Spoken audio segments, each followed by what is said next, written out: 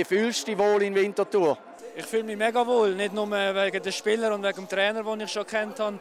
Äh, das hat es natürlich ein bisschen vereinfacht, aber äh, die ganze Mannschaft, muss ich sagen, wir sind eine super äh, tolle Truppe. Jeder geht für den anderen und ich glaube, das zeichnet uns die Saison aus.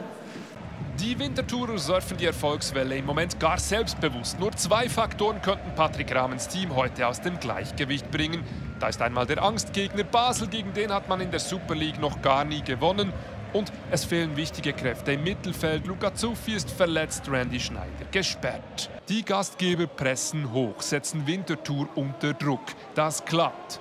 Kachuri schaltet schnell, Kololli schnörkellos und zielstrebig. Boah, der war nicht schlecht. Erster guter Test für Marvin Keller. Diese Weitschüsse sollen die zuletzt so solide Defensive des Gegners in Schwierigkeiten bringen. Hätte fast geklappt. Die Basel in der Startphase die dominantere Mannschaft. Aber der Drang nach vorne auch risikobehaftet, denn die Wintertourer können Konter. Gorba mit dem weiten Ball, er ist zum dritten Mal diese Saison von Beginn weg auf dem Feld. Fofana gegen drei. Bissel Tayev aufschließt, Saifal Al-Tayev haut ihn an den Pfosten. Beste Aktion bisher vom besten Torschützen der Wintertourer, er ausgeliehen von Basel, hätte seinen eigentlichen Arbeitgeber nun fast in Schwierigkeiten gebracht. Die Gäste finden nun immer besser ins Spiel. Ltayev lässt Träger stehen. So richtig klären können auch die Kollegen nicht. Diaby, da ist Stillhart.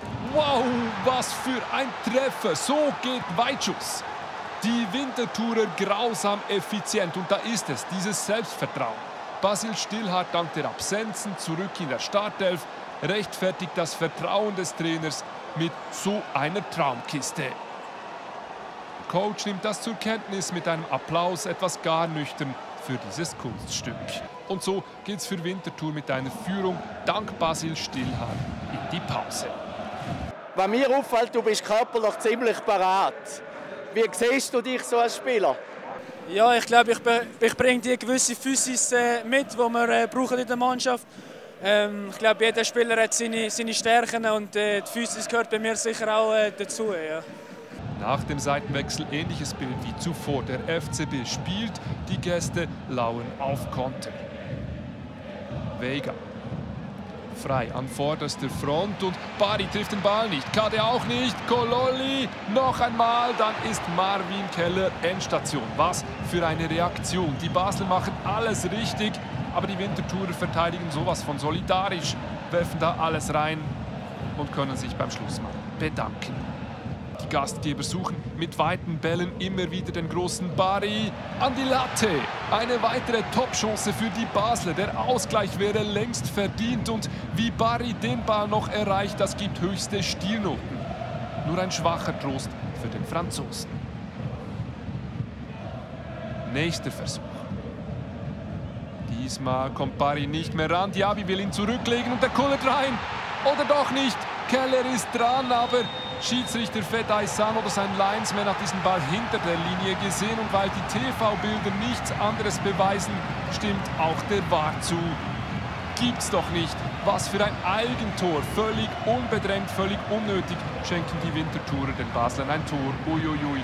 Damit alles wieder offen. Und die Schlussphase turbulent. Da ist Vintis Sturm. Der lässt Aftulau stehen legt rein und Rüegg macht fast den Diaby. Ein fast Eigentor, aber das geht gerade noch mal gut. Ich habe es nicht ganz genau in Erinnerung. Ich glaube, ich könnte sogar noch im äh, TF spielen. Aber äh, ich bin hungrig um das Goal zu machen. Es hat leider nicht funktioniert, aber äh, hoffentlich dann beim nächsten Mal. So teilen sich die beiden heute die Punkte. Das ist über das ganze Spiel gesehen korrekt, auch wenn Winterthur dem Sieg nachtrauen dürfte. Dennoch bleiben sie damit zum siebten Mal in Serie ungeschlagen. Adrian, sehr ein spezielles Spiel für dich. Wie hast du es erlebt? Ja, es ist ein spezielles Spiel für mich. Es ist immer schön, äh, hier zurück im Joggeli. Ähm, es ist äh, schade, dass wir am Schluss leider auf die Art und Weise äh, die zwei Punkte holen Aber äh, trotzdem sind wir sehr, sehr äh, zufrieden mit dieser Leistung. Ich glaube, wir haben gezeigt, wieso dass wir auch äh, in dieser Tabellensituation so sind, wie wir sind. Und äh, jetzt wir Schnazipause. Ähm, wir probieren uns erholen, dass wir nachher daheim auf der Schütze gegen wieder 100% parat sind.